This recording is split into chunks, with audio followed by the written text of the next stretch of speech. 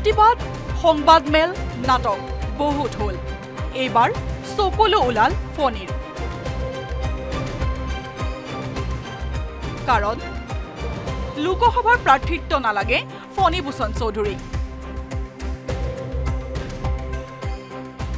নিৰ্বাচনৰ টিকট লাভৰ বাবে কোনে কি নকৰে? কোনোৱে যদি দলৰ শীৰ্ষ নেতাক বাৰে বাৰে অনুৰোধ জনাব লাগে আন কোনোৱে টিকটৰ বাবে দিনে নিশাই খাপ পিটি থাকিবলগীয়া হয় নেতাৰ ঘৰে ঘৰে। কিন্তু অসমৰ ইতিহাসত এনে এজন বিধায়ক আছে যিয়ে দলে প্ৰাৰ্থিত্ব দিয়াৰ পিছতো খেলিব বিচৰা নাই লোকসভা নিৰ্বাচন। তেওঁ হৈছে অগপৰ জ্যেষ্ঠ নেতা ফণীভূষণ চৌধুৰী। সাংবাদিকৰ আগত বৰপেটাৰ প্ৰাৰ্থিত্বলৈ প্ৰশ্ন সোধাত চকুত চকুলো ফণীভূষণ চৌধুৰীৰ। নিৰ্বাচনৰ টিকটৰ কথা সোধাত বঙাইগাঁৱৰ বিধায়কজনে ক'লে বেলেগ আদৰ্শত মই চামিল হ'ব নোৱাৰিলো। মোৰ জীৱনৰ এয়াই হৈছে আটাইতকৈ ডাঙৰ ব্যৰ্থতা।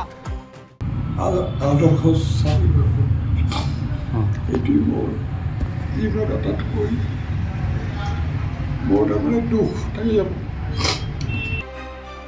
আঠত্ৰিশ বছৰে দলৰ হৈ কাম কৰা ফণীভূষণ চৌধুৰীক দলে টিকট প্ৰদান কৰিলে ভাবিবলৈ বাধ্য হ'ব।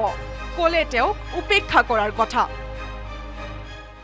আলোচনাত মিলিত নোহোৱাকৈ যদি প্ৰাৰ্থিত্ব মোৰ প্ৰাৰ্থিত্ব যদি ঘোষণা কৰে মই তেতিয়া ভাবিম যে যোৱা আঠত্ৰিছটা বছৰ যদি মই অসম গণ পৰিষদ দলৰ এজন সৈনিক হিচাপে কাম কৰিছোঁ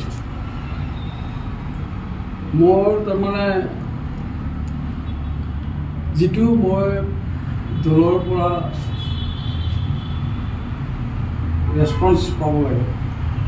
সেই ৰেচপন্স নাপাওঁ বুলি মই ভাবিবলৈ বাধ্য অগপ কাৰ্যালয়ত আৱেগিক হৈ ফণীভূষণ চৌধুৰীয়ে লগতে ক'লে সমষ্টিবাসীৰ বিৰোধিতাৰ বাবে নিৰ্বাচন খেলিব বিচৰা নাই। বঙাইগাঁও সমষ্টিৰেই নহয়।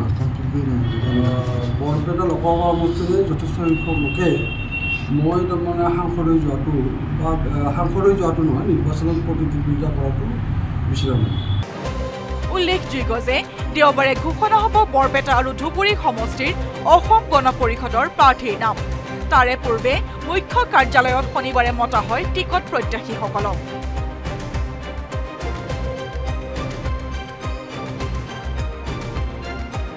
হীৰক জ্যোতি মালাকাৰৰ প্ৰতিবেদন News Eighteen Assam North East.